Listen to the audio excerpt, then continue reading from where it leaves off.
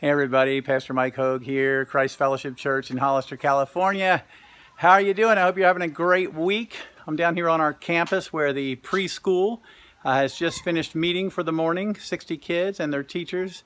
Best preschool in the city, by the way. Why do I say that? Because it was voted that recently and in the last couple of years has been voted best preschool in Hollister, California.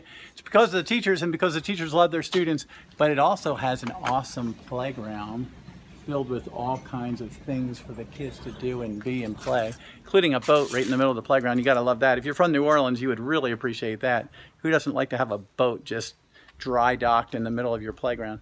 Hey, um, also, uh, we on our campus, we have our homeschool group that's meeting here. Well, it's not our homeschool group, but we're hosting them or allowing them to use our campus. 60 kids and their parents put together uh, an awesome Christian-based um, homeschool group and we're honored to have them using our campus this semester. And uh, they're spread out all over the campus. They're enjoying the campus and we're so glad they are. God's blessed us with a beautiful campus. Check this place out. And we just have an awesome courtyard that we use for worship.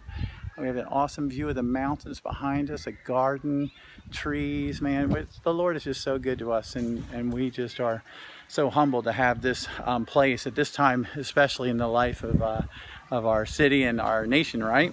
So we're gathering together on Sunday mornings and we're studying the book of Psalms. And we're reading it together as a church. This week, we're supposed to read Psalm 21 through 40.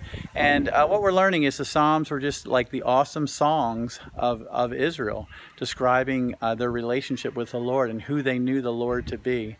This past Sunday, I preached on Psalm 23. It's a psalm that many of us have committed to memory.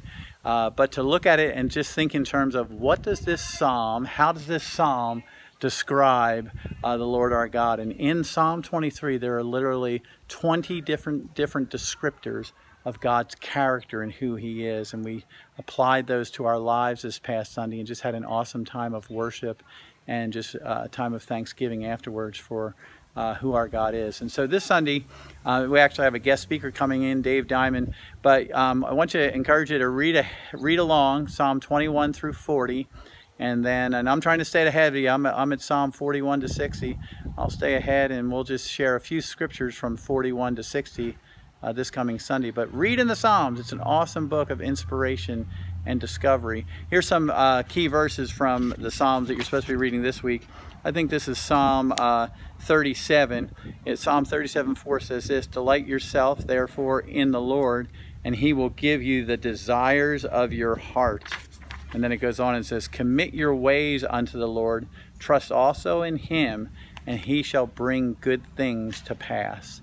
You know, there's times in our lives where we feel like everything is out of control and we don't really know what to do. What the scriptures would say, what the psalmist would say is commit everything to the Lord, give it to Him, talk to Him about what's troubling you, ask Him uh, to show His glory and His power and His wisdom in these circumstances in your life, and He will do it. He will not disappoint. Our church is a testimony of that. God's intervention in the good times and the bads. God, God's presence in the good time, His intervention in the bad times. And uh, we were going to keep telling those stories because God is faithful and good.